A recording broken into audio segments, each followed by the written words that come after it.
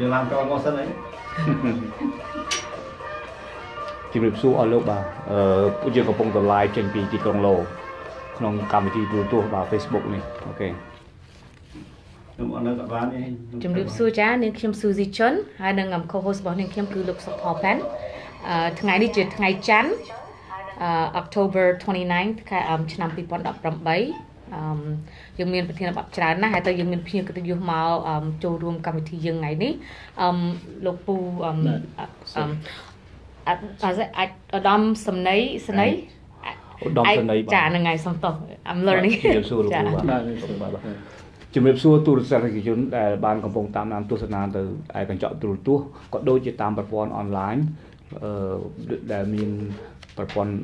អនឡាញ www www.ltc.org/95live ដូច្នេះហើយក៏ដូចជាតាមប្រព័ន្ធ live Facebook របស់ខ្ញុំបាទផងដែរថ្ងៃនេះយើងមានប្រធានបទជាច្រើនដែលនឹងនាំមកជូនអស់លោកលានក្នុងកម្មវិធីផ្សាយរបស់សម្លេងប្រជាធិបតេយ្យទីក្រុងឡូរដ្ឋ Massachusetts ដែលយើងនឹងផ្សាយជូនក្នុងពេលបន្តិចទៀតនេះដូច្នេះសូមអស់លោកលាននៅជាមួយយើងខ្ញុំដើម្បីតាមដាន ទាំងអស់គ្នាបាទដូច្នេះសូមអញ្ជើញអ្នកនាងស៊ូស៊ី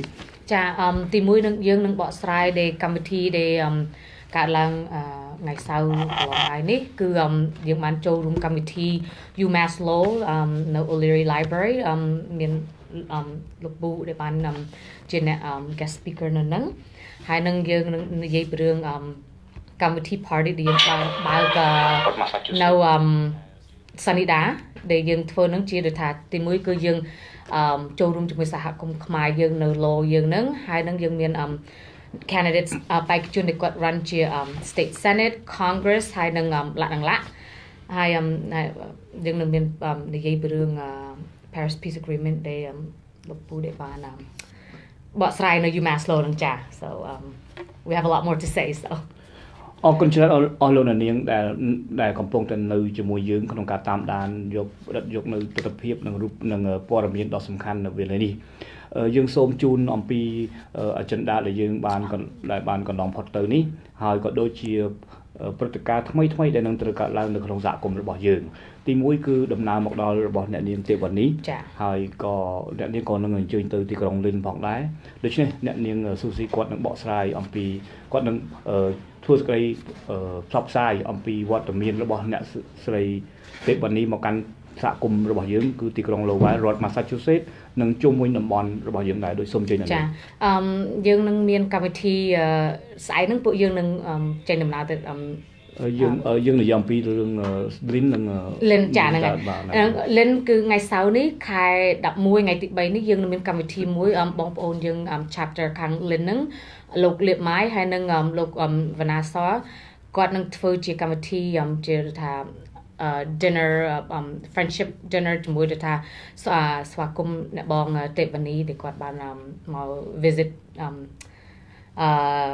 Low Massachusetts យើងនឹងហើយនឹងកម្មវិធីនឹងគឺទៅថាយើងនឹងមានជាអឺ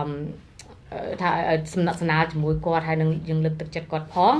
ហើយនឹងថ្ងៃថ្ងៃអាទិត្យខែ11ថ្ងៃទី4នេះយើងនឹងមានកម្មវិធី2ថ្ងៃអាទិត្យនឹងចាទី1គឺពេលព្រឹកយើងនឹងមានបនកឋិនអ្នកបងអឺអ្នកបងទេវនីនឹងចូលរួមជាមួយ ហើយនឹងអឺពេលម៉ោង2ទៅដល់ម៉ោង6ល្ងាចយើងនឹងមានកម្មវិធីជា public forum ហើយបងទេវនីដែរហើយនឹងគាត់នឹងមានដូចថាជាអឺអឺនិយាយពីរឿងដូចថាដែលដែលគាត់អឺ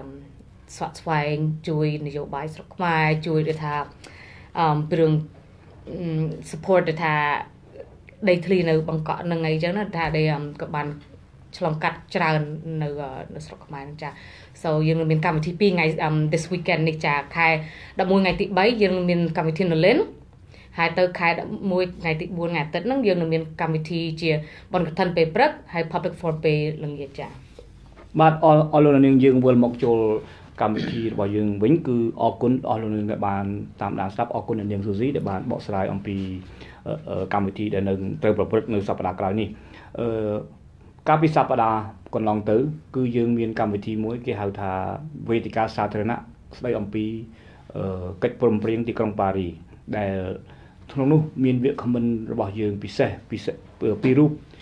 មួយគឺលោកឧត្តមសេនីយ៍អឺជំជាងដែលមានវត្តមាននៅទីស្រាប់ហើយទី2គឺយើងមានលោកសាស្ត្រាចារ្យអ៊ីសុផលគាត់ បានធ្វើជាវាគ្មិនបកស្រាយនៅក្នុងអឺបេលីននោះផងដែរដូច្នេះថ្ងៃនេះយើងមានកិត្តិយសបានមានវត្តមានរបស់លោកចូលរួមក្នុងកម្មវិធីនេះដូច្នេះដើម្បីជាកិច្ចចាប់ផ្ដើមយើងសូមជម្រាបសួរលោកហើយយើងនឹងសូមឲ្យលោកអឺណែនាំខ្លួនចំពោះអស់លោកនាងបាទសូមជម្រាបសួរបងលោកពូបាទបាទបាទសូមជឿជំរាបសួរក្មួយទាំងពីរណាអរគុណដែរដែលបានផ្ដល់ឱកាសឲ្យខ្ញុំបាន មកបង្ហាញមុខនៅទីនេះមែនតើទៅគឺថាខ្ញុំជពាក់យូរហើយដែលជពាក់មុនគេគឺប្អូនរិទ្ធីដែលស្នើសុំយូរហើយយូរឆ្នាំហើយថាសុំឲ្យខ្ញុំមកនិយាយពីរឿងកិច្ចប្រឹងប្រែងក្រុងប៉ារីសហ្នឹងបាទប៉ុន្តែខ្ញុំមិនមានឱកាសសោះហើយប៉ុន្តែពេលនេះវាឱកាសវាសំប្រកបជាមួយគ្នានឹងកលតិស័កនេះខ្ញុំលឺលឺរាល់ថ្ងៃ ពីរឿងកិច្ចប្រឹងប្រែងក្រុងប៉ារីសការបកស្រាយពីគ្រប់មជ្ឈដ្ឋានអឺខ្ញុំទទួលស្គាល់ឲ្យតម្លៃទាំងអស់ការបកស្រាយទាំងអស់ហ្នឹងខ្ញុំមិនមិនគិតថាគេបកស្រាយខុសទេទោះបីថាមតិវាប្រឆាំងគ្នាក៏ដោយខ្ញុំជូនបន្ទុកថាត្រូវហើយបកស្រាយទៅក៏ប៉ុន្តែអឺរឿងពិតយ៉ាងណានោះអ្វីបើខ្លួនខ្ញុំជាអ្នកបានចូលរួមផ្ទាល់ ក្នុងការចរចាដើម្បីស្វែងរកសន្តិភាពសម្រាប់ប្រទេសខ្មែរមែនតើខ្ញុំចាប់ផ្ដើមការចូលរួមតាំងពីឆ្នាំ1983ម្លេះ1983រហូតដល់ឆ្នាំ1991ហ្នឹងបានចប់បេសកកម្មទោះបីយ៉ាងนั้นក៏ដោយខ្ញុំមិនអាចដឹងបានទាំងអស់ទេបាទទោះបីថាការចរចាក្នុង10ខ្ញុំមានវត្តមានខ្ញុំ8យ៉ាងតិចបាទខ្ញុំក៏ដឹងមិនបានទាំងអស់ ជួនកាលទៅប្រជុំហ្នឹងក៏សាច់រឿងវាច្រើនពេកវាវាមុខការវិច្រើនម្នាក់ម្នាក់ចែកមុខការគ្នាធ្វើដូច្នេះហើយអ្វីដែលខ្ញុំដឹងខ្ញុំនឹងជម្រាបជូនបងប្អូនសាធារណជនឲ្យបានជ្រាប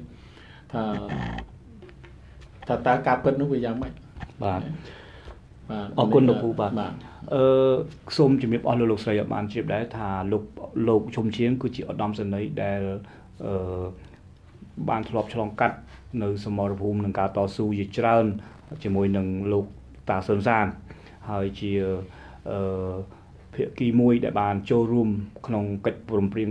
កិច្ចចរចានិងកិច្ចព្រមព្រៀងទីក្រុងប៉ារីនៅថ្ងៃទី23ខែតុលាឆ្នាំ1991ដូច្នេះរឿងរ៉ាវទាំងអស់ដែលបានបកស្រាយពីមហាជន គឺយើងពិតប្រាកដណាស់គឺ ដោយការយល់ដឹងមិនច្បាស់លាស់ឬក៏ច្បាស់លាស់គឺជាការបញ្ចេញមតិ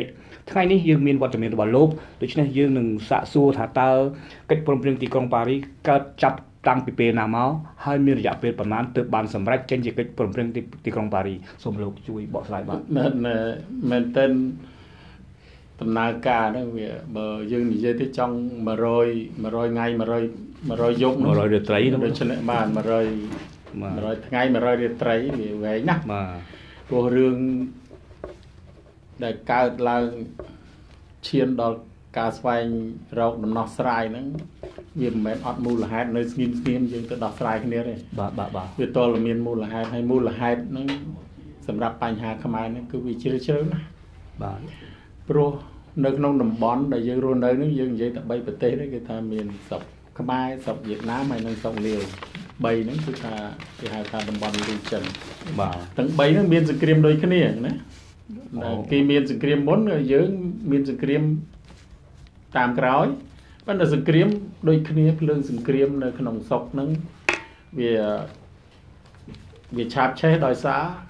វាឆ្លងពីស្រុកវៀតណាមមកដល់ឆ្នាំ1770ហ្នឹងយើងក៏កើតសង្គ្រាមទៅដូច្នេះហើយ ធ្វើឲ្យសង្គមជាតិខ្មែរនឹងវាទទួលនៅមហន្តរាយបាត់បង់ទាំងជីវិតមនុស្សបាត់បង់ទាំងទ្រព្យសម្បត្តិស្អីគ្រប់បែបយ៉ាងហើយធ្វើឲ្យសង្គមខ្មែរនឹងបែកបាក់គ្នាទៅទៀតចាក់បាទបាទក្នុងសង្គ្រាមឆ្នាំ1970ហ្នឹងថាមួយផ្នែកទៅខាងខ្មែររំដោះទៅនៅក្នុងព្រៃទៅមួយផ្នែកទៅមកនៅខាងសាធារណរដ្ឋទៅហ្នឹងវាខ្លោចផ្សាណាបាទហើយឆ្លងពីសង្គ្រាម5ឆ្នាំនេះយើងធ្លាក់ខ្លួនមកដល់របប បល័យពុជសាសទៀតហើយវាពិឃាតអាហ្នឹងកាន់តែធ្ងន់ទៅទៀតដូច្នេះហើយគឺពីថា75ដល់79បាទបាទនឹងហើយដែលខ្មែរយើងជាចំណាំថាអឺខ្មោចអឺជន់អរៈដាក់នោះណាអរៈដាក់ខ្មោចជន់ថែមទៀតហ្នឹងគឺបាថាទវាគ្រោះយន្តដាក់អរិយជន់យន្តដាក់ហើយអរៈជន់ទៅទៀតគឺថាគ្រោះហើយមករងមហាគ្រោះទៅទៀតណាបាទពិតប្រាកដយើងវាស្លាប់អស់ពី3លានអ្នកទៅទៀតហឹមវារឹតតែរីងរៃទៅទៀតហើយ ផុតទៅពីរបបវាពិឃាតវាវាដល់អានេះណែប្រវត្តិសាស្ត្រមួយថ្មីទៀតគឺថាបាទកងទ័ពវៀតណាមវាយលុកចូលមកណាដោយបាទគេយកមូលហេតុថាមករំដោះខ្មែររួចពីរបបបល័យពុទ្ធសាសន៍អឺកុំឲ្យពលពតដល់លើកាន់អំណាចបាទអានឹងបាទតាក់ទងនឹងពេលដែលអឺកងទ័ពវៀតណាមចូលមកវាយលុកហ្នឹងអឺខ្ញុំក៏មមតិមហាជនក៏គាត់ចង់ដឹងដែរថាតើ ជាការជួយសង្គ្រោះឬក៏ជាការឆក់ឱកាសឬក៏ជាយ៉ាងណាលោកអាចបញ្យល់បាននេះដំណាក់កាលហ្នឹងគឺជាដំណាក់កាលសំខាន់ណាស់បាទនេះការដែលកងទ័ពវៀតណាមចូលមកហ្នឹងមិនមែនចូលមកដោយឥតគ្រូទុកទេបាទសូត្រតែមានការគ្រូទុកបាទបាទបាទច្រើនយូរឆ្នាំមកហើយគឺថាសង្គ្រាមនៅប្រទេសវៀតណាមប្រឆាំងនឹងអឺសហរដ្ឋអាមេរិកដែលការពារវៀតណាមខាងត្បូងនឹងគឺជាគោលដៅមួយដែលវៀតណាមខាងជើងត្រូវធ្វើម៉េចឲ្យ ចូលសុខខ្មែរនឹងឲ្យបាន ដើម្បីធ្វើជាបង្អែកក្នុងការដួលរំលំរបបអឺក្រុងព្រីនគរណាបាទចឹងហើយបានជាវាមានបញ្ហាយិកុងចូលមកក្នុងដីខ្មែរហើយមានតំណែងតំណងពីអឺសម្ដេចសៀនុលោកតកតងជាមួយនឹងវៀតណាមខាងជើងដើម្បីអនុញ្ញាតឲ្យយិកុងមកនៅដីខ្មែរទើបបានវាមានអព្រឹត្តិការណ៍ឆ្នាំ1970នោះមកចឹងហើយការដែលវៀតណាមចូលមកធ្វើអន្តរាគមន៍ ក្នុងឆ្នាំ1979នោះមិនមែននឹកឃើញពី3ខែចូលមកទេអានោះផែនការគេរៀបចំរួចទៅហើយគេថាត្រូវតែអញ្ចឹងហើយហើយមិនបានថាអញ្ចឹងព្រោះថាខ្មែរក្រហមមិនមែនទៅមកសម្លាប់ខ្មែរនៅក្នុងឆ្នាំ1979ណាវាសម្លាប់តាំងពីឆ្នាំ75មកបាទមិនក៏75មិនចូលមកបាទមិនក៏ទុកឲ្យគេស្លាប់ជាតិអស់ហើយបានចូលមកធ្វើអីបាទប៉ុន្តែអឺទោះបីយ៉ាងណាខ្ញុំក៏ទទួលស្គាល់ខ្លះដែរថាការដែលយើងណាមចូលមក ខ្មែរនៅរស់បានខ្លះណាក៏ប៉ុន្តែគ្រាន់តែថាអាការដែលចូលមកនោះវាមានហេតុផលគេគ្រោងទុករួចហើយបាទបាទទី1ទី2ការដែលយើងណាមចូលមកមិនត្រឹមត្រូវតាមច្បាប់ទេនិយាយតាមច្បាប់អន្តរជាតិខុសព្រោះតាមច្បាប់របស់អង្គការសិទ្ធិជាតិឬច្បាប់អន្តរជាតិទូទៅប្រទេសមួយមិនអាចនាំកម្លាំងទ័ពចូលមកធ្វើអន្តរាគមន៍បាទលើដែនអធិបតេយ្យភាពដល់ ប្រទេសមួយទៀតបានទេលុះត្រាមានការសម្រេចពីអង្គការសិទ្ធិជាតិឬក្រមប្រឹក្សាសន្តិសុខអង្គការសិទ្ធិជាតិបាទអាហ្នឹងបានអាចមកធ្វើអន្តរាគមន៍បាន តែបើកាលណាមកធ្វើអន្តរាគមន៍ដោយសារតែហេតុផលដែលយើងយល់ថាខ្មែរត្រូវរងគ្រោះដោយសាររបបប៉ុលពតហើយចូលមកវាយចឹងតែម្ដងនឹងខុសច្បាប់បាទយើងអឺទទួលមិនបានទេបញ្ហាហ្នឹងបើតាមការសិក្សាស្រាវជ្រាវអឺខ្ញុំយើងបានដឹងថាកាលនោះអឺរបបកុម្មុយនីសដែលបានរៀបនឹងដួលរលំទៅហើយ កាលនោះគឺយើងដឹងថាសូវៀតនិងអឺចិនគឺទុនដៃក្នុងការតស៊ូអឺដើម្បីពង្រីកឥទ្ធិពលកុម្មុយនីសលើពិភពលោកលោកពូណាអាហ្នឹងដូច្នេះអឺតើលោកពូយល់ថានេះជាឱកាសឆក់ឱកាសដល់របស់វៀតណាមដែលមកចូលអឺឈ្លានពានកម្ពុជាឬក៏ជាការដែលវៀតណាមទៅតែបំពេញតួនាទីដើម្បីជួយសង្គ្រោះឬក៏ដើម្បីឲ្យបានឆក់មុនអំពីអឺ សហគមន៍អឺរ៉ុបគេនឹងជួយកម្ពុជាបាទតាមព្រឹត្តិការណ៍ជាក់ស្ដែងអឺនៅក្នុងពេលដែលវៀតណាមចាប់ផ្ដើមវាយលុកចូលមកក្នុងប្រទេសខ្មែរឆ្នាំ1979បាទសហភាពសូវៀតមិនទាន់អឺទាន់ដៃទេទុនដៃបាទបាទគាត់តែទួនខាងផ្នែកសេដ្ឋកិច្ចដោយសាររបបគ្រប់គ្រងលោកកូបាឆុបបាទប្រធានរដ្ឋបដីមុនហ្នឹងគាត់មអឺផែនការសេដ្ឋកិច្ចរបស់គាត់ហ្នឹងវាតឹងតែងវាចង្អៀតចង្អល់ដូច្នេះសេដ្ឋកិច្ចរុស្ស៊ីវាចាប់ វាចាប់មានបញ្ហាបាទពេលដែលគាត់កាន់អំណាចហ្នឹងហើយបាទបាទលុះដល់គាត់ស្លាប់ទៅហើយលោកកូបាឆុបមុនបងគាត់ឆាស់ណាបាទបាទគូបាចុះគាត់បានហ្នឹងគាត់គាត់ឆាស់ប្រធានរដ្ឋបដីមុននោះដែលបាទធ្វើឲ្យសុខរុស្ស៊ីសេដ្ឋកិច្ចទួតខ្សោយហ្នឹងដល់គាត់ស្លាប់ទៅលោកកូបាឆុបគាត់ឡើងមកបាទដល់ឆ្នាំ85ហ្នឹងលោកកូបាឆុបគាត់មើលឃើញថាសេដ្ឋកិច្ចវាវាត្រូវកាំងហើយបាទរុស្ស៊ីបានគឺគាត់បង្កើតផែនការ perestroika គេហៅថាដើម្បី ធ្វើ reform ណាបាទ perestroika ហ្នឹងភាសារុស្ស៊ីហើយ Glasnost ដើម្បីបើកចំហណាប្រទេសរុស្ស៊ីហ្នឹងធ្វើតំណែងតំណងសេដ្ឋកិច្ចទៅក្រៅប្រទេសប៉ុន្តែស្ថានភាពនយោបាយប្រទេសរុស្ស៊ីវាចាប់រំជើងបញ្ចូលរួចទៅហើយក្នុងសម័យសង្គ្រាមត្រជាក់ណាបាទបាទបាទគេថា cold សមាជិកបាទក្នុងសម័យសង្គ្រាមត្រជាក់ហ្នឹងអឺសមាជិកទាំង10 15រដ្ឋនៃសហព័ន្ធ រុស្ស៊ីហ្នឹងវាបះបោរឡើងណាបាទទាមទារឯករាជ្យព្រោះអូខេរដ្ឋទាំងអស់ហ្នឹងរុស្ស៊ីបានដណ្ដើមវាយត្រួតត្រាគេក្នុងសង្គ្រាមលើកទី2ដែរដូច្នេះហើយអឺដល់ពេលហ្នឹងពាក្យឱកាសដែលឃើញថាការគ្រប់គ្រងរអឺរដ្ឋអំណាចកណ្ដាលរបស់រុស្ស៊ីហ្នឹងវាអត់ អន់ថយទៅពេលសមាជិកហ្នឹងគេងើបឡើងដើម្បីទាមទារឯករាជ្យបានវាមានការបាក់បែកហ្នឹងអាហ្នឹងគឺថាការបាក់បែករបស់រុស្ស៊ីហ្នឹងមិនមែនក្នុងសម័យដែលយើងហាមចាប់ផ្ដើមចូលមកទេគឺថាបាក់បែកក្រោយក្នុងឆ្នាំ1985 86 87 88 89នោះទេបានរុស្ស៊ីទន់ខ្សោយណាបាទតែចូលមកដំបូងរុស្ស៊ីនៅមមនៅឡើយទេគ្រប់ត្រយើងណាមកចូលមកនោះបាទព្រោះកាលនោះយើងដឹងថាមានតែប្រហែលប្រទេសដែរដែលគ្រប់គ្រងរឿងអឺ វៀតណាមចូលមកកម្ពុជាបាទប៉ុន្តែបើបើតាមខ្ញុំបើបើតាមប្រវត្តិសាស្ត្របាននិយាយថាអឺអឺសហគមន៍អឺរ៉ុបហ្នឹងគឺបំរុងហក់បើបំរុងបោះដៃទៅជួយនៅប្រទេសកម្ពុជារួចទៅហើយពួកកាលនោះគាត់អឺសហភាពអឺរ៉ុបហ្នឹងអឺសហគមន៍អឺរ៉ុបហ្នឹងគឺគាត់បានដឹងអំពីការរងទុក្ខអឺរបស់ពលរដ្ឋខ្មែរបាទអញ្ចឹង បាទអញ្ចឹងទោះជាយ៉ាងណាក៏ដោយព្រឹត្តិការណ៍ទាំងអស់ជាប្រវត្តិសាស្ត្រដែលបានកើតឡើងកន្លងមកគឺធ្វើឲ្យពលរដ្ឋខ្មែរមានការឈឺចាប់រហូតដល់អឺបច្ចុប្បន្នក៏នៅតែមិនដោះស្រាយរួចអញ្ចឹងជាលទ្ធផលយើងបានកិច្ចព្រមព្រៀងទីក្រុងប៉ារីដែលបានអឺមានសិនអឺអឺគេថាជាអឺជាកញ្ចប់ជាឯកសារដ៏រឹងមាំមួយសម្រាប់កម្ពុជាដូច្នេះថ្ងៃនេះក៏ដូច្នេះយើងបកមកកិច្ចព្រមព្រៀងទីក្រុងប៉ារីថាតើអឺកិច្ចព្រមព្រៀងទីក្រុងប៉ារីឥឡូវយើងដើរដល់ចំណុចណាហើយ តើរដ្ឋាភិបាលលោកហ៊ុនសែនបច្ចុប្បន្នគាត់មានចំបានគោរពទេអំពីកិច្ចព្រមព្រៀងទីក្រុងប៉ារីដែលរយៈពេលក៏គាត់កាន់អំណាចជាង30ឆ្នាំបន្ទាប់ពីកិច្ចព្រមព្រៀងទីក្រុងប៉ារីសម្រាប់ហើយបាទសូមជឿបានមុននឹងឆ្លើយសំណួរលោកក្មួយខ្ញុំសូមលើកហេតុផលខ្លះបាទអំពីកិច្ចព្រមព្រៀងក្រុងប៉ារីអឺខ្ញុំបានលើនៅមតិអឺធ្វើការវិភាគបាទអ្នកខ្លះ ថាឆ្វេងអ្នកខ្លះថាស្ដាំមតិមួយចំនួនថាកិច្ចព្រមព្រៀងនឹងវាមានតម្លៃមហាសាលហើយល្អណាស់សម្រាប់ជួយឲ្យប្រទេសខ្មែររស់ឡើងវិញណាដូច្នេះវាមានតម្លៃជាអមតៈណាអូខេបាទអ្នកខ្លះថាកិច្ចព្រមព្រៀងនឹងវាអស់សុពលភាពហើយ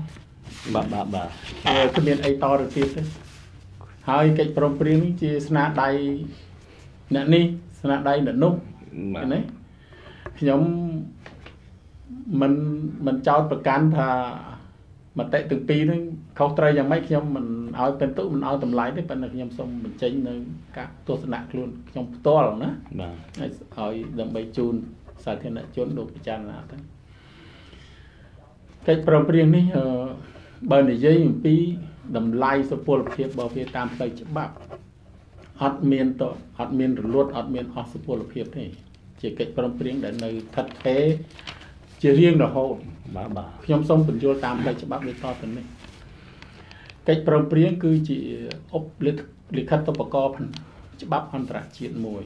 ក្នុងចំណោមលិខិតតុបករណ៍ដទៃទៀតច្រើនណានៅក្នុងចំណោមហ្នឹងវាមានដូចជាសន្ធិសញ្ញាកិច្ចប្រំព្រៀងបាទអនុសញ្ញាអនុសាសន៍វិ ពិធីសារឬក៏កិច្ចសន្យានានាជាទ្វេភាគីបាទបាទប្រទេសហើយនៅប្រទេសជាឧបតោភាគីប្រទេសហើយនឹងអង្គការអន្តរជាតិឬក៏ពហុភាគីប្រទេសជាច្រើនចូលរួមណាវាមានប្រភេទរបស់វាអញ្ចឹងណាដូច្នេះចំពោះ លិខិតតុបករណ៍ផ្នែកអន្តរជាតិទាំងអស់ហ្នឹងគេមានរបៀបគេធ្វើយើងសួរថាសន្និសិទនៅក្រុងប៉ារីសហេតុម៉េចបានគេមិនដាក់ថាសន្ធិសញ្ញាបាទបាទមិនក៏គេមិនប្រើពាក្យសន្ធិសញ្ញាបាទមិនបានគេប្រើពាក្យថាកិច្ចប្រំព្រៀងកិច្ចព្រមព្រៀង agreement agreement យ៉ាវាមានហេតុផលរបស់គេដែលគេប្រើពាក្យហ្នឹងមិនក៏គេមិនប្រើពាក្យថាអនុសញ្ញា thank you អានេះផ្លូវច្បាប់បាទ សន្ធិសញ្ញាគឺជាក៏ជាកិច្ចប្រំព្រៀងដែរប៉ុន្តែកិច្ចប្រំព្រៀងធ្វើភាគីឬភុភាគីគេធ្វើឡើងដើម្បីណាគឺថាគេចង់គេចង់បង្កើតច្បាប់អន្តរជាតិអ្វីមួយដោយមានការព្រមព្រៀងគ្នានេះហ្នឹងគេហៅថាសន្ធិសញ្ញាគឺជាការចងក្រងបាទចងក្រងនៅបាទ នៅក្រឹតក្រមអីមួយក្រឹតក្រមអីមួយដើម្បីអនុវត្តរួមគ្នាបាទបាទបាទប៉ុន្តែកិច្ចព្រមព្រៀងជាគឺការគេធ្វើសន្ឡើងយាសម្រាប់ no សម្រាប់ដោះស្រាយបញ្ហាវិវាទណាមួយបាទបាទបាទឃើញទេដូចថាការឆ្លោះគ្នា ការទាស់គ្នាជាអន្តរជាតិហ្នឹងឥឡូវយើងឈប់ឆ្លោះគ្នាហើយយើងព្រមព្រៀងគ្នាថាឈប់ឆ្លោះឥឡូវយើងព្រមព្រៀងអនុវត្តបែបនេះបែបនេះអានេះគេហៅថា agreement ហ្នឹងគេថាអកហ្នឹងអាហ្នឹងគេគេប្រើពាក្យកិច្ចព្រមព្រៀងហ្នឹងបាទល្អណាស់បាទហើយក្នុងហ្នឹងទៀតណា គេដាក់ច្បាស់ណាស់គឺថា comprehensive comprehensive comprehensive ហេតុម៉េចបានគេប្រើពាក្យថា comprehensive មិនក៏មិនដាក់ថាកិច្ចព្រមព្រៀងទៅទេទៅកិច្ចព្រមព្រៀង And ដោះស្រាយបញ្ហាខ្មែរតែមិនគឺគេចាំបាច់ពាក្យថាអា comprehensive agreement comprehensive on peace agreement on កម្ពុជាអីចឹងកណេះបាទហើយមិនបានគេប្រើពាក្យ comprehensive បាទបាទ ពាក្យ comprehensive នឹងប្រែដោយត្រង់ត្រង់នេះគឺថាវាទូទៅណារួមបញ្ហាច្រើនណាយកមកដោះស្រាយណាបាទឆ្លោះគ្នាវាច្រើនរឿងយល់ទេយកមកដោះស្រាយរួមនៅពេលហ្នឹងបាទបាទច្រើនរឿងអីខ្លះច្រើនរឿងគឺថាខ្មែរឆ្លោះខ្មែរវាមានបញ្ហាខ្មែរនោះឃើញទេបាទប៉ុន្តែខ្មែរឆ្លោះគ្នាវាមិនមែនឆ្លោះតែនៅក្នុង ដីខ្មែរមកមកមកប្រវត្តិហ្នឹងណាវាប៉ះពាល់ដល់តំបន់អាស៊ានវាបង្កើតនៅអសន្តិសុខដល់តំបន់អាស៊ានព្រោះហេតុអីតំបន់អាស៊ានគេយល់ថាទំនាស់នៅស្រុកខ្មែរឥឡូវវៀតណាមចូលមកកាន់កាប់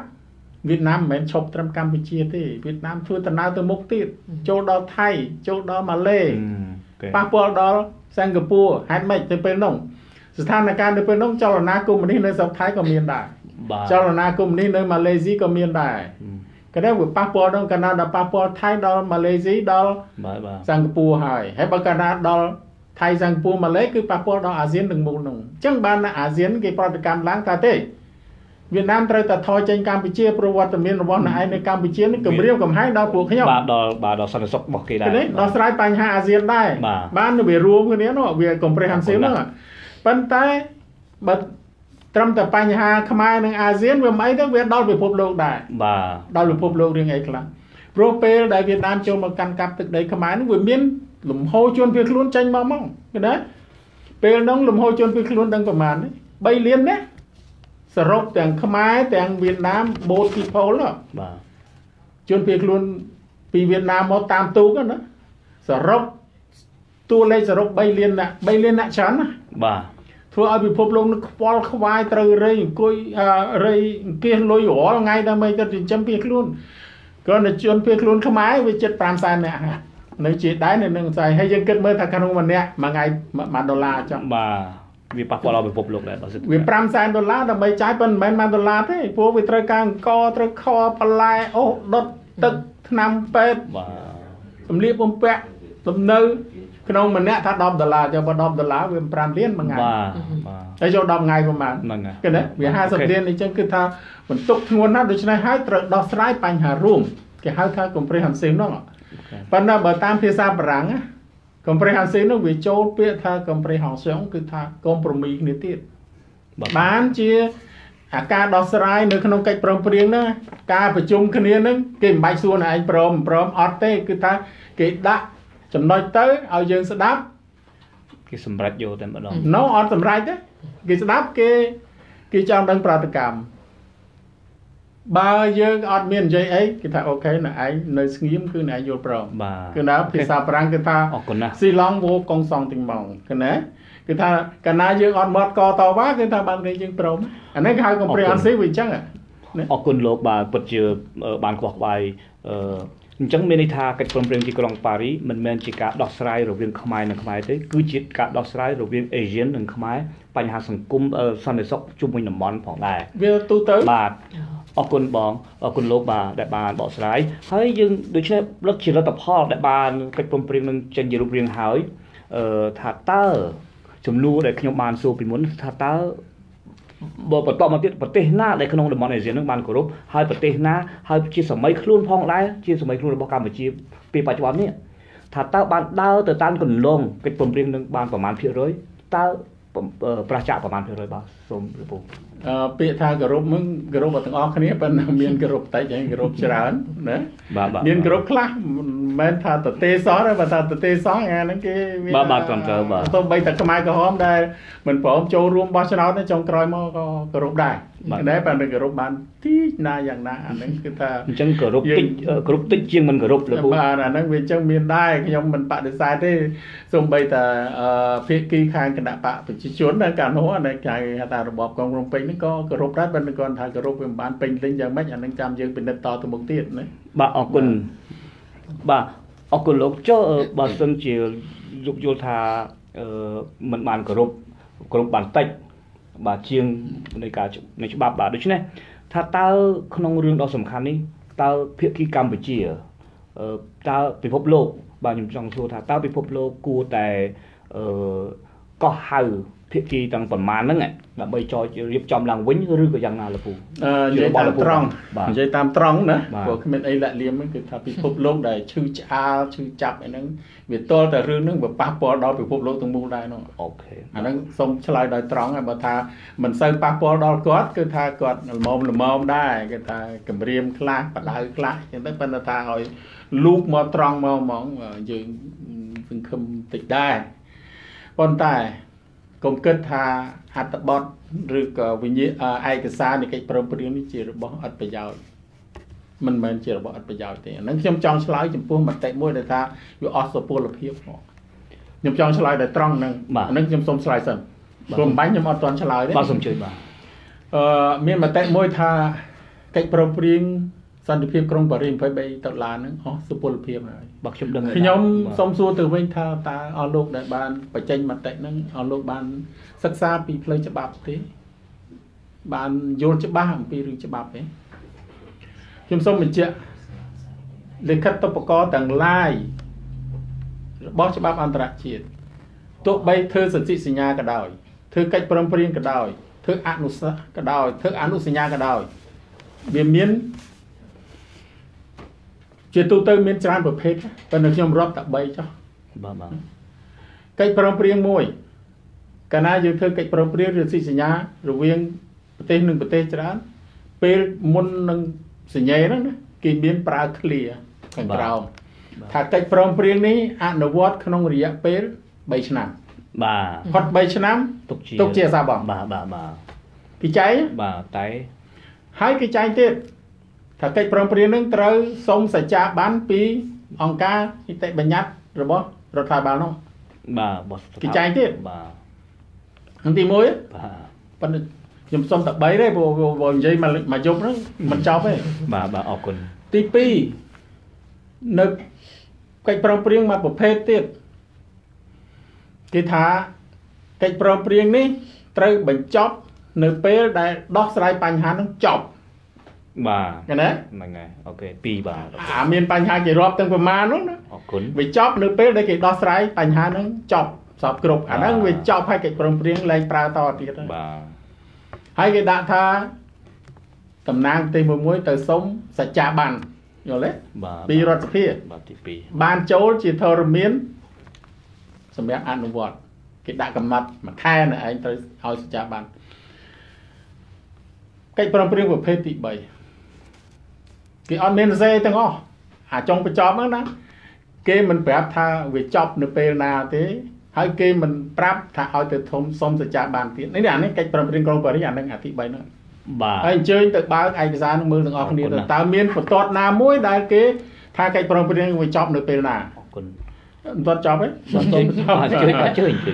ហើយក៏គេអត់បានឲ្យទៅសុំសច្ចាបានពីរដ្ឋសភាដែរ ព្រោះហេតុអីព្រោះអ្នកសញ្ញេទាំង12អ្នកនៅខ្មែរទាំង12ហ្នឹងគឺខ្មែរតែមួយទេណាហើយខ្ញុំលើសូមអតិភិអតិខ្លះចិត្តបកស្រាយថាខ្មែរ4ភាគីទៅសញ្ញេកិច្ចប្រឹងប្រែងក្រុងប៉ារីសខ្ញុំនៅទីនោះខ្ញុំសូមបញ្ជាក់ថាគ្មាន4ភាគីទេទៅសញ្ញេនោះពីដណ្ដប់អ្នកខ្មែរតែមួយគត់មិនមែន4ភាគីនោះណាព្រោះដោយសារកំណត់4ភាគីហ្នឹងហើយបានជា សន្និសិទនៅក្រុងប៉ារីសឆ្នាំ1989វាបរាជ័យណាដោយសារប្រកាន់ភាគីនោះចឹងបានគេបញ្ជូនឲ្យទៅចែកតាវិញតែឯងទៅបង្កើតអង្គការតែមួយបានណា SNC អូខេមកដល់ពីមុនណាមុនឆ្នាំ89កាលណាទៅប្រជុំក្បែរ4ភាគីគេដាក់ណែប៉ុនស៊ីប៉ិចអូខេខ្មែរក្រហមណែរបបក្រុងភ្នំពេញសើមសានអញ្ចឹងតែគេដាក់4អញ្ចឹង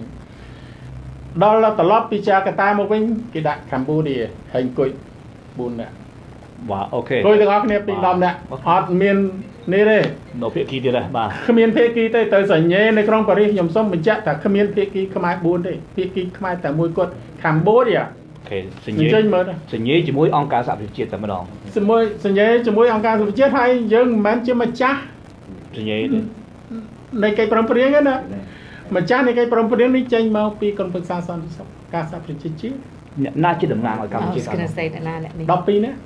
12នាក់ប៉ុន្តែចេញពីកម្ពុជាអ្នកណាអាចទៅសញ្ញេ agreement នឹង12នាក់សញ្ញេទាំង12នាក់អូខេបាគេទឲ្យខុប12នាក់គឺខ្មែរតែមួយទេគ្មានភាគីទេខ្ញុំសូមបញ្ជាក់អូខេដូច្នេះអ្នកដែលថាវាអស់សុពលភាពហ្នឹងគឺអ្នកហ្នឹងប្រមាថដោយត្រង់តែម្ដងអ្នក12នាក់នោះបាទ ហើយបើអ្នកនងនៅក្នុងគណៈបព្វជិជនគឺអ្នកនងប្រមាថសម្ដេចហ៊ុនសែនហ្នឹងបាទព្រោះសម្ដេចហ៊ុនសែននេះជាហត្ថលេខីនៅពេលនោះហើយលោកជាស្នាដៃរបស់លោកដែលបង្កើតកិច្ចប្រឹងប្រែងបាទហើយលោកហើយរឿងអីបានលោកថាកិច្ចប្រឹងប្រែងនោះវាអស់សុពលភាពបាទដូច្នេះស្នាដៃរបស់សម្ដេចហ៊ុនសែនហ្នឹងទុកជាអាសាបងអញ្ចឹងបាទបាទអាហ្នឹងសូមឲ្យអ្នកធ្វើការច្បាប់បាទអឺវិភាគហ្នឹងឲ្យយល់ផងបើថាអើគោរពគោរពបកគោណា ហើយយើងថាកិច្ចប្រឹងប្រែងហ្នឹងវាអាសាបងដូច្នេះអស់លោកអ្នកដែលនិយាយហ្នឹងវាមានគោរពកោណាទេហើយនៅក្នុងគណៈបព្វជិជនអស់លោកដែលធ្វើអត្ថាធិប្បាយហ្នឹងក៏អត់គោរពសម្ដេចហ៊ុនសែនដែរដែលជាមេដៃមេដឹកនាំព្រោះស្រាដៃរបស់គាត់តែប្រការប្រកាន់មករឿងអីយើងទៅវាយប្រហារថាវាអស់សុពលភាពអាហ្នឹងសូមឲ្យនិយាយឲ្យបានច្បាស់បាទហើយបើសិនបើសិនជាអ្នក12អ្នកហ្នឹងស្មារតីថាអលត់សង្ខារទៅមែនកិច្ចប្រឹងប្រែងអត់មានអលត់ទៅជាមួយទេ បាទកិច្ចប្រឹងប្រែងនេះគឺគេដាក់ខ្លះក្នុងកម្ពុជាបាទបាទអរគុណវានៅមានរហូតចឹងណាអាហ្នឹងសូមបញ្ជាក់ឲ្យបានច្បាស់ So no expiration date ណូអត់មានសរសេរណាបើគេមានសរសេរដូចខ្ញុំរៀបរាប់ព្រោះកិច្ចកិច្ចប្រឹងប្រែងឬសិទ្ធិសញ្ញានោះវាមានច្រើនប្រភេទនោះ4 5ប្រភេទអឺចា៎អញ្ចឹងខ្ញុំសូមបញ្ជាក់ថាខ្ញុំដឹងថាខ្ញុំអឺបានតាមដានរឿងនឹងដែរគឺមន្ត្រីរបស់គណៈបព្វជិជនមួយរូបដែលបានមានប្រសាសន៍ថា តាមកិច្ចព្រមព្រៀងក្រុងប៉ារីសបានផុតជីវិតរួចទៅហើយគឺលោកអឺអ្នកនាំពាក្យគណៈបព្វជិជនគឺសុកអេសានបាទនេះខ្ញុំសូមជម្រាបថាឲ្យលោកលោកនាងអឺជ្រាបជាព័ត៌មានថាលោកសុកអេសានបានមានប្រសាសន៍ថាអឺសិទ្ធិសញ្ញានៃក្រុងទីក្រុង ប៉ារីដែលបានចុះខាហ្នឹងគឺបានស្លាប់បាត់ទៅហើយថ្ងៃនេះយើងមានសាក្សីរស់មួយរូបដែលគាត់ក៏បានចូលរួមព្រឹត្តិការណ៍យ៉ាងសកម្មនៅក្នុង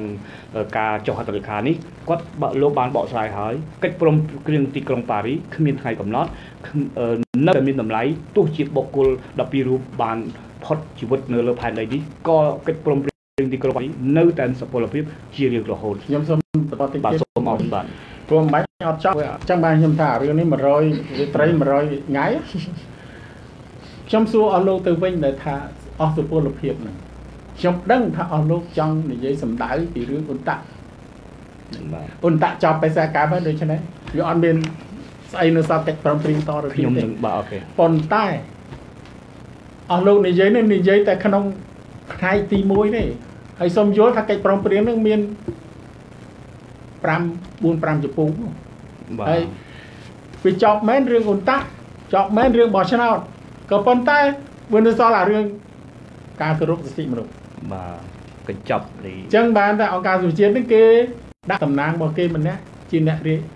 រាយការណ៍ពិសេសសម្រាប់អគ្គនាយកដ្ឋានការហ្នឹងបន្តមកដល់រងថ្ងៃហ្នឹងបាទបើសិនជាកិច្ចប្រឹងប្រែងនឹងវារត់មែនតំណាងអង្គការសុជាតិមិនអាចបន្តការងារបានទេអានោះទី1បាទ ទី2ដោយសារកិច្ចប្រឹងប្រែងហ្នឹងបានអង្គទូតនានានៃពិភពលោកទាំងមូលទាំងសហគមន៍អឺរ៉ុបទាំងលោកកុម្មុយនីសទាំងលោកសេរីហ្នឹងមកដាក់ទូតនៅស្រុកខ្មែរចុះបើកិច្ចប្រឹងប្រែងហ្នឹងចប់មែនដូច្នេះដេញទូតត្រឡប់ទៅវិញបាទព្រោះអាហ្នឹងវាអនុវត្តកិច្ចប្រឹងប្រែងក្រុងប៉ារីសបាទបាទទី2ណាទី3ការកសាងប្រទេសជាតិចាប់ផ្ដើមដំបូងមានជប៉ុនជាប្រធានដែលគេប្រម៉ែប្រមោលរេងគៀសលុយក្នុងមួយឆ្នាំ1000លានដុល្លារទៅដើម្បីជួយកសាងប្រទេសខ្មែរបាទ មកទល់នឹងថ្ងៃហ្នឹងវានៅតែមានជំនួយបរទេសនៅឡើយទេបាទតាមរយៈអង្គការមនុស្សធម៌ឬអង្គការក្រៅរដ្ឋាភិបាលនៅតែជួយតែសប្តាហ៍ថ្ងៃនោះដូច្នេះឈប់ទទួលជំនួយនោះបើថាកិច្ចប្រឹងប្រែងវាចប់បាទវាអត់ចប់ទេទី4នៅក្នុងអឺចំពោះ2ប្រហែលជាមេត្រាទី5មិនត្រឹមទី6ខ្ញុំអត់បានយកមកគេបញ្ជាក់ច្បាស់ណាស់ណាគឺថាបើកាលណាសមានស្ថានភាពធ្ងន់ធ្ងរឲ្យ សមាជិកណាមួយឬកហត្ថេកាណាមួយហ្នឹងស្នើសុំឲ្យសហប្រធានចាត់ប្រធានការអាហ្នឹងគេនិយាយសម្រាប់ទៅមុខទីបាទហើយចុះបើចប់ហើយទៅប្តឹងទៅផ្ដោតទៅតវ៉ាមិនកាន់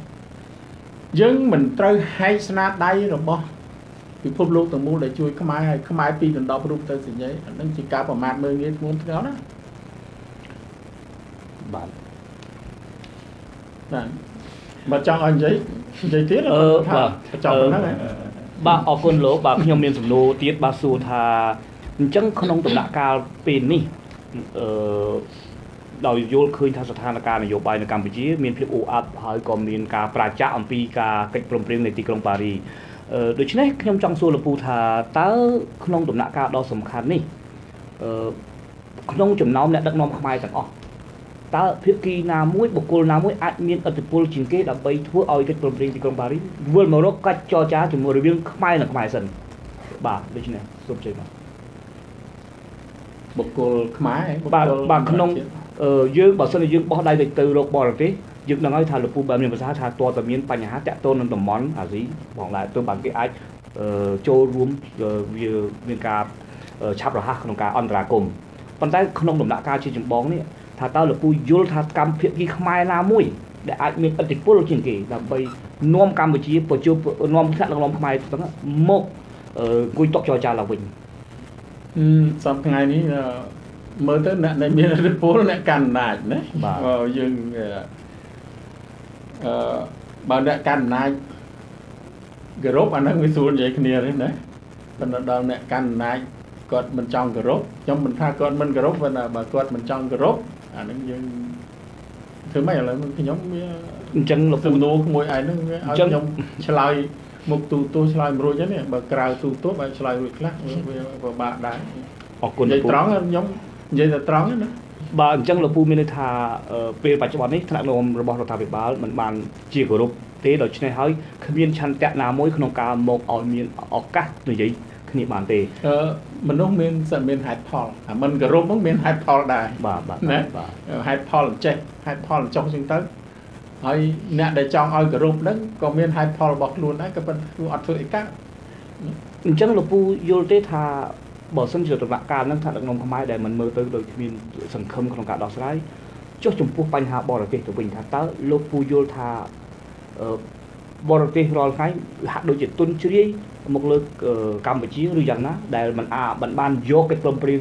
ទីក្រុងប៉ារីយកទៅអនុវត្តឡើងវិញបាទអឺមិនទន់ជ្រាយប៉ុន្មានទេបាទបាទណាចំពោះបរទេសវាមានពីរប្រភេទខ្ញុំចែកជាពីរប្រភេទមិនបាច់និយាយ3 3នោះវាអព្យាក្រឹតចិត្តតែអីទេប៉ុន្តែថាបាទនិយាយអ្នកអ្នកប្រឆាំងហើយអ្នកមិនប្រឆាំងផ្នែកមួយផ្នែកបរទេសដែលគេគិតថា វាអូខេហើយស្ថានភាពសង្គមខ្មែរហ្នឹងយើងឃើញស្រាប់ហើយមានមួយផ្នែកមានមួយផ្នែកនេះគឺថាមានមហាយៈចិនតោហេហ្នឹងគាត់អូខេហើយគាត់មានខ្វល់ហើយក៏ប៉ុន្តែ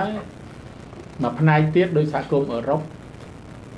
រួមទាំងសហរដ្ឋអាមេរិកកាណាដាអូស្ត្រាលីនេះជាបញ្ហាមួយធំណាស់យើងមិនអាចមើលងាយបានបាទបាទខ្ញុំសោកស្ដាយណាស់ដែលប្រសិនបើអ្នកនយោបាយខ្មែរ អ្នកនយោបាយខ្មែរឬក៏អ្នកដឹកនាំខ្មែរណាមើលងាយមើលស្រាលថាប្រតិកម្មរបស់សហគមន៍អឺរ៉ុបសហរដ្ឋអាមេរិកអូស្ត្រាលីនិងកាណាដាជារឿងរឿងអត់ខ្វល់គឺជាគ្រោះថ្នាក់ធំសម្រាប់ប្រទេសជាតិព្រោះហេតុអី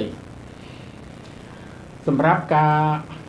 រំលាយគណៈបកសង្គ្រោះជាតិក្តីសម្រាប់អីស្អីក្តីហ្នឹងគឺវាជារឿងថារឿង ខុសច្បាប់ឬត្រូវច្បាប់អីខ្មែរនិងខ្មែរនេះក៏ប៉ុន្តែរឿងធំយើងត្រូវគិតបញ្ហាធំបំផុតទី1រឿងការរំលោភសិទ្ធិមនុស្សធ្ងន់ណាបាទខ្ញុំមិនបំភ័យបងប្អូនណាទេប៉ុន្តែធ្ងន់ទី2រឿងមួយទៀតដែលធំគឺប៉ះពាល់រឿងលទ្ធិប្រជាធិបតេយ្យបាទ ព្រោះយើងដឹងហើយថាប្រតិកម្មនៅសហគមន៍អឺរ៉ុបឬសហរដ្ឋអាមេរិកកាណាដាសូសៀលីសជាដើមសុទ្ធតែជាប្រទេសប្រកាន់លទ្ធិប្រជាធិបតេយ្យហើយដល់តែយើងធ្វើសកម្មភាពទៅវាប៉ះពាល់ដល់លទ្ធិប្រជាធិបតេយ្យអាហ្នឹងដោយយើងប្រឈមមុខជាមួយប្រទេសទាំងអស់ហ្នឹងបាទបាទបាទ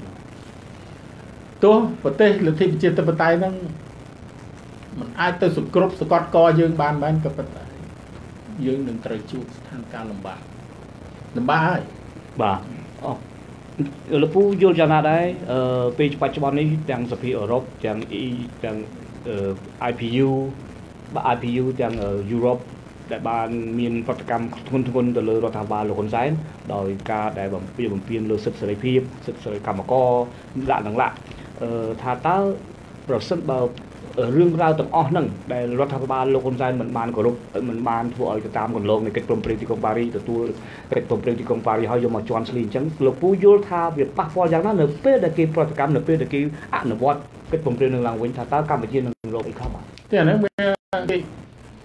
គេដែលប្រតិកម្មរបស់គេហ្នឹងគឺគេអនុវត្តកិច្ចព្រមព្រៀងហ្នឹងបាទបាទចំពោះកម្ពុជាវិញនឹងទទួលរងយ៉ាងម៉េចដែរអាហ្នឹងវាត្រូវតែទទួលរងឲ្យពោះពោះមតិខ្លះមតិខ្លះ គេប្រាប់ថាសហគមន៍អឺរ៉ុបក្តីអាមេរិកក្តីឬប្រទេសណាក្តីបាទបាទកុំលូកដៃបាទបាទបាទវាប៉ះពាល់អធិបតេយ្យភាពរបស់ខ្មែរកន្លែងហ្នឹងខ្ញុំ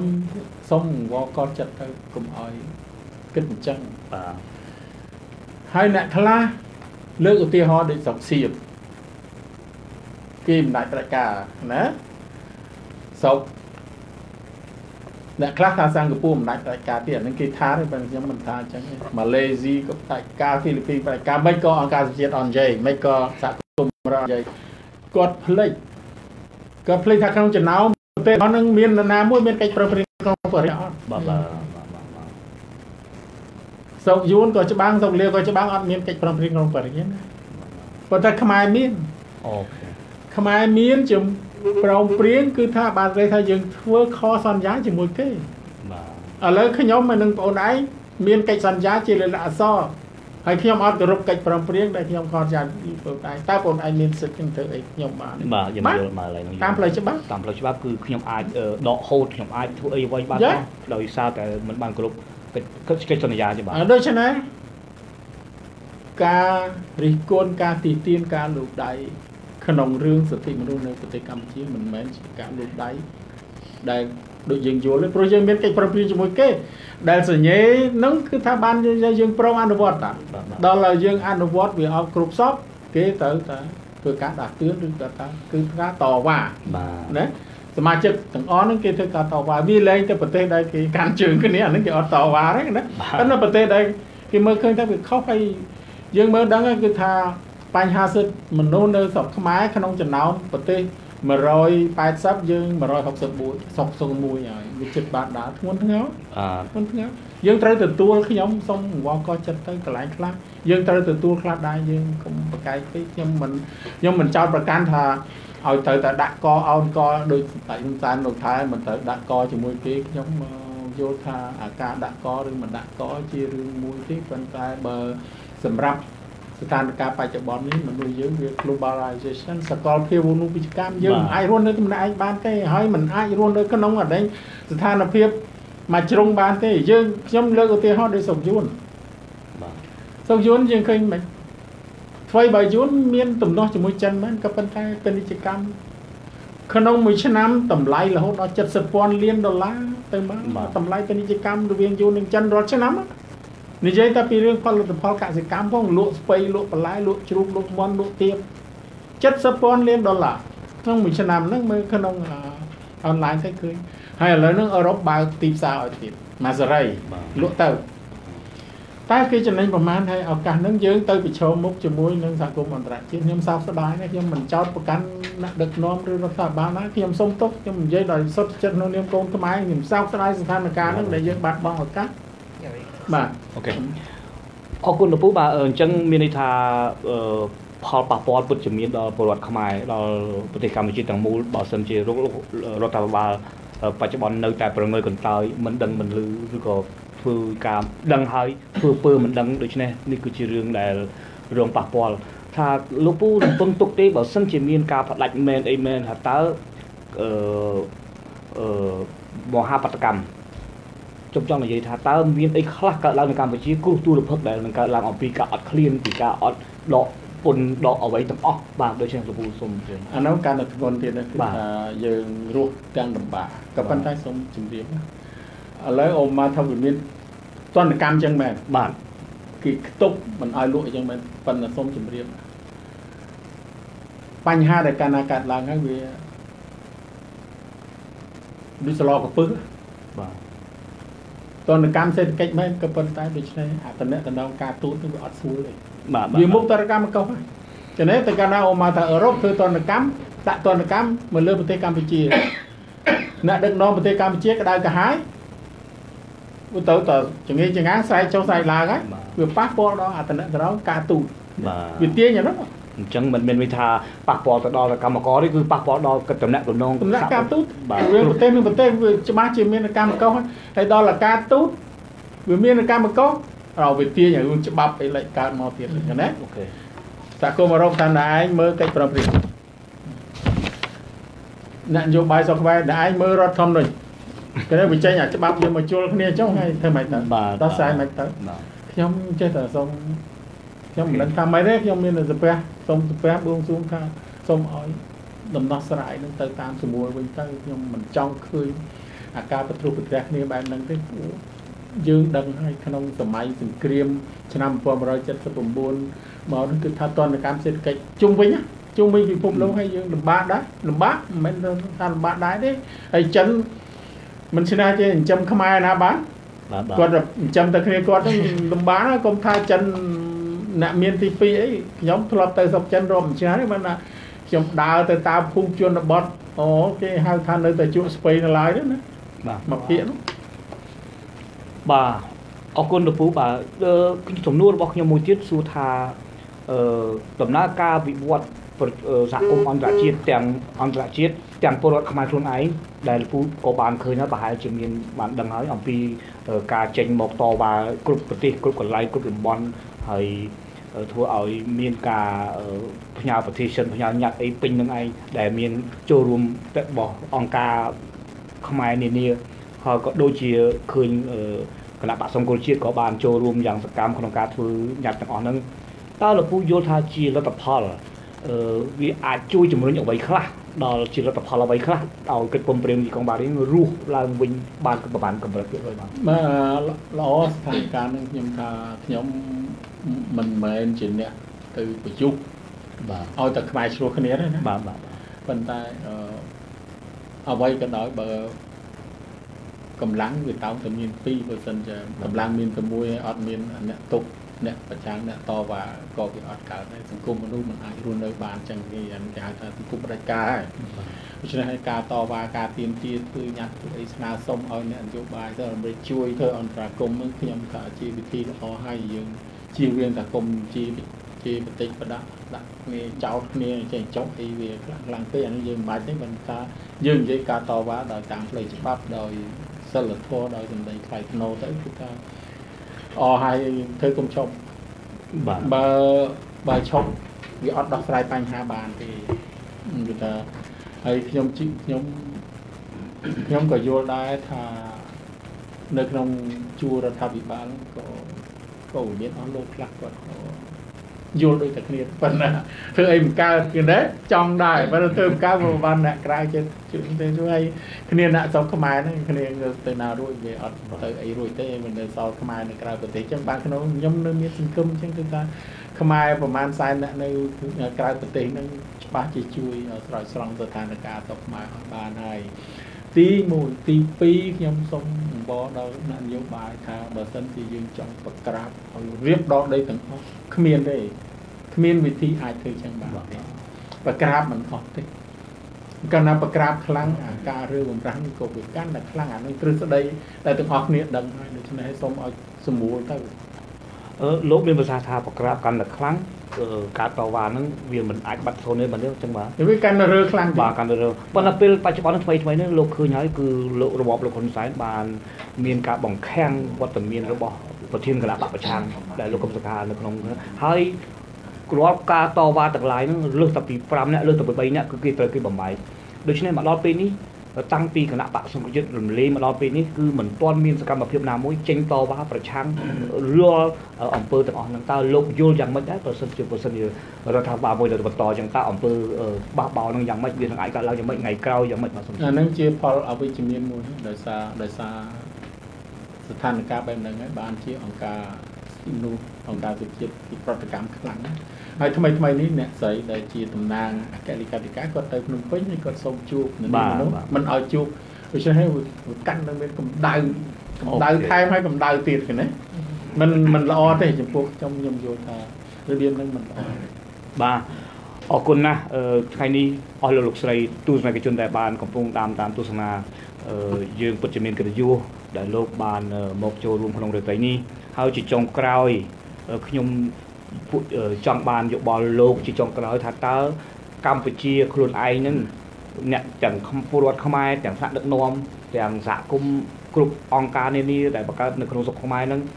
ចេះធ្វើការយ៉ាងម៉េចសូមលពូជួយឲ្យជាអនុសាសន៍ជាចុងក្រោយដើម្បីជាការដាស់តឿនផងជាការឲ្យដំបូងមានផងក្នុងលោកនាមលពូជាព្រឹទ្ធាចារ្យជាអ្នកដែលបានឆ្លងកាត់រឿងរ៉ាវជាច្រើនក្នុងការតស៊ូដើម្បីតែបបផែតជាតិមួយនេះបាទសូមជឿញ ខ្ញុំវាវ័យច្រើនណាស់ហើយខ្ញុំអាចធ្វើអីអូបានមកមូនដូចពីដើមប៉ុន្តែខ្ញុំសូមសំណូមពរជាទៅដោយសារកន្លងមកការចរចារកដំណោះស្រាយកិច្ចប្រឹងប្រែងក្នុងប៉ារីសនឹងខ្មែរពិបាកត្រូវគ្នាប៉ុន្តែសហគមន៍អន្តរជាតិគឺសង្កត់ខ្លាំងមែនតើបាទ